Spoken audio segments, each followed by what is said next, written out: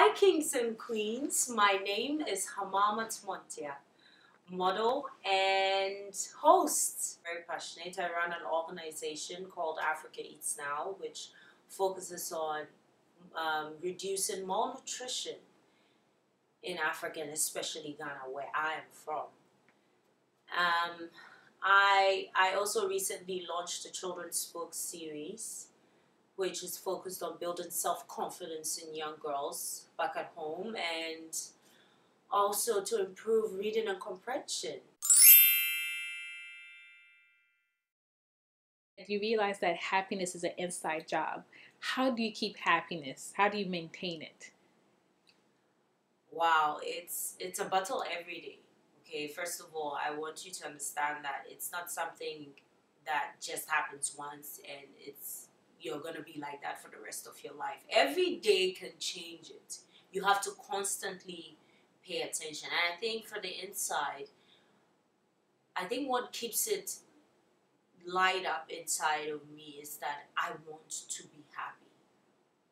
That light just keeps, so whatever situation I find myself, I just say, choose happiness, choose happiness, choose happiness.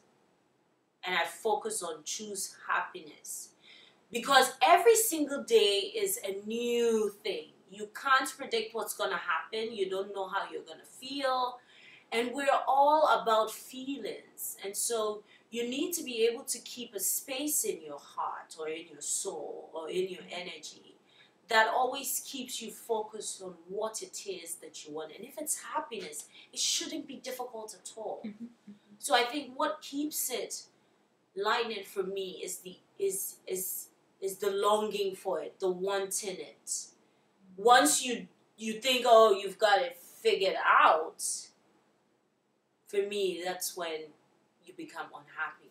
Because happiness has to be on your mind, just like you making money is on your mind, just like your boyfriend is on your mind, you know, just like your examination is on your mind, all those things that you focus on every single time and actually achieve them happiness needs to be number one. And for me, once you have that inside, it just keeps going.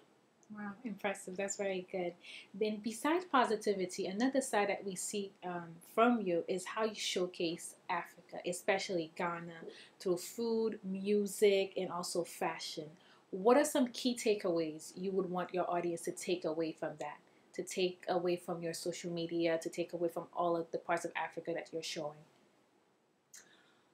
Well, um, I I kind of have a lot of takeaways if if you ask me because I'm very I go with the moment, and so everything that allows life to be beautiful, I love to be a part of it. So I'm hoping that people would understand that uh, putting Africa in your fashion is is important, especially if you're from there, because that's the only way we can keep our culture in some way. We need to wear it, we need to show it, we need to, you know, have it as a badge, because our skin already gives us away that we're from Africa or we're black enough to be African.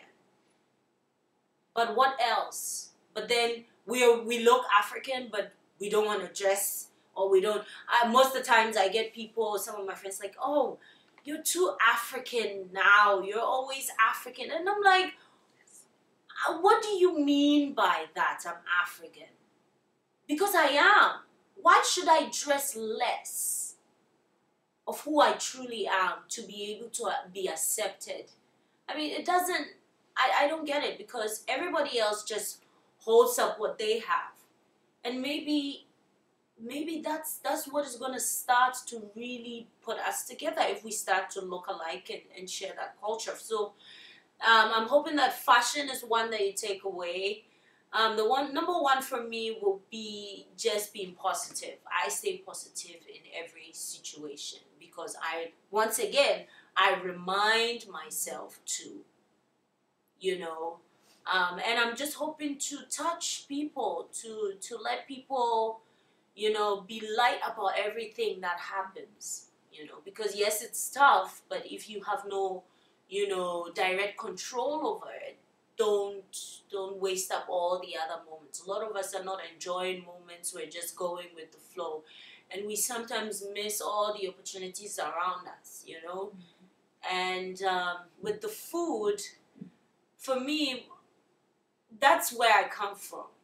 You know, no matter how wherever I go or travel, I still want to eat home food. Mhm. Just like if you're American and you go to uh, Ghana for a month, you would crave some fries and some good pizza and all the stuff that you like, you know. And so if you don't, and and and I just, you know, I love food. You know, I love food. Just you know, I love good food. I love African food, and for me, it reminds me of my childhood. Anytime I eat, uh, you know, home cooked food because I travel so much and it's not easy to get the the right, you know, taste and and and you know. So I like to share that in in every every light, you know, in every way that I can, and I am just so proud to be African that I'm hoping that it would influence a lot more people to be, no matter what it looks like or no matter where we come from. That's what makes us unique. You know, we can't all come from a certain part of the world or, or have A or B or long hair. We, we can't all do that. The life, the world won't revolve.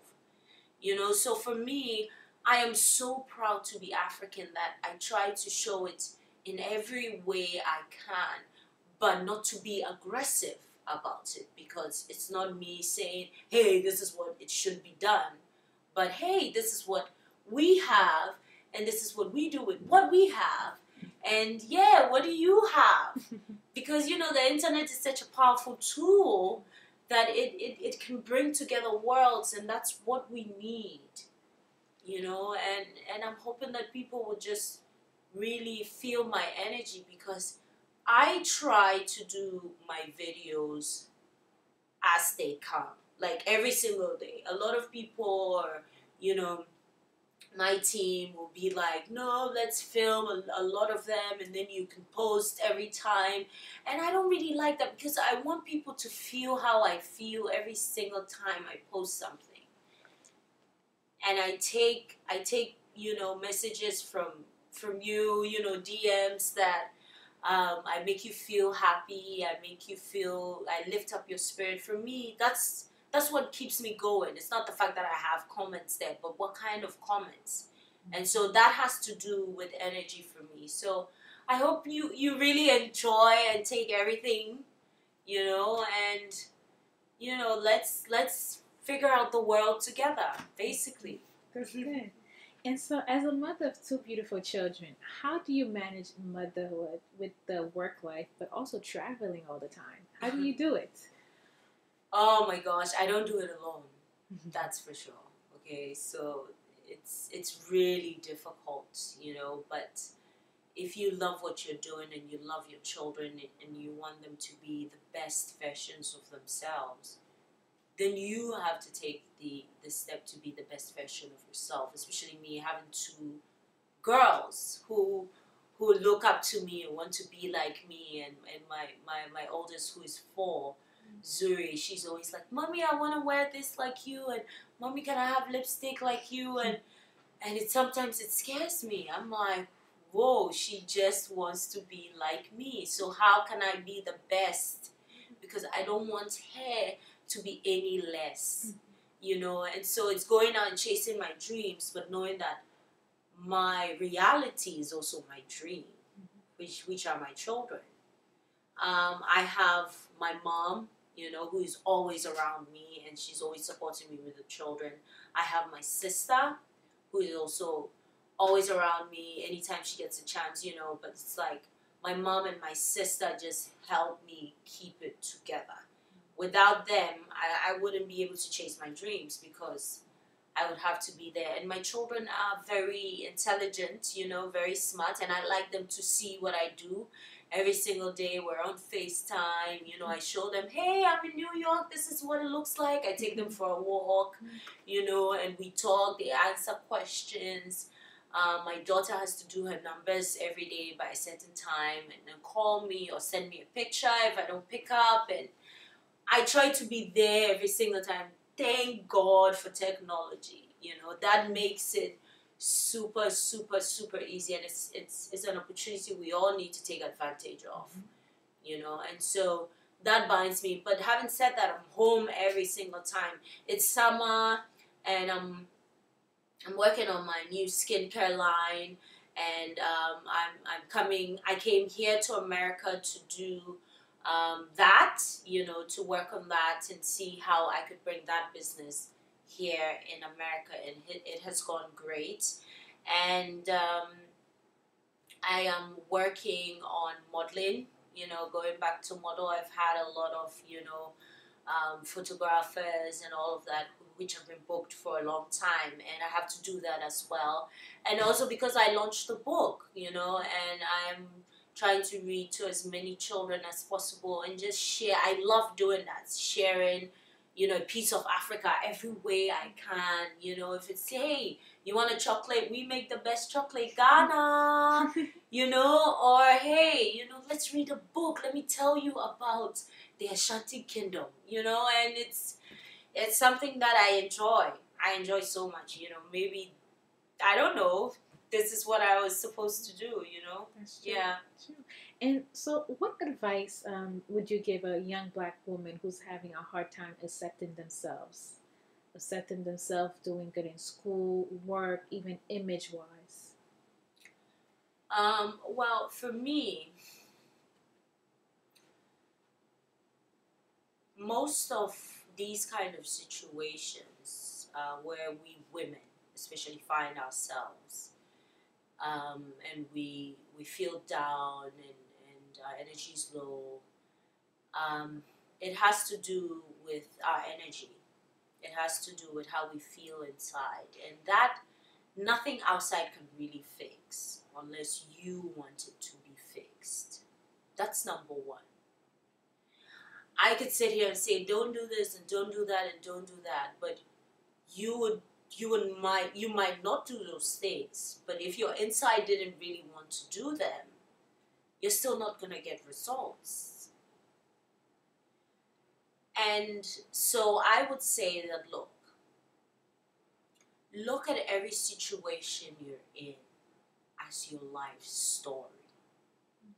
Look at it from the reverse. Look at it like you're watching a movie about yourself but you're living this life and your ultimate goal is to get to point C. And what is in point C? What are your goals?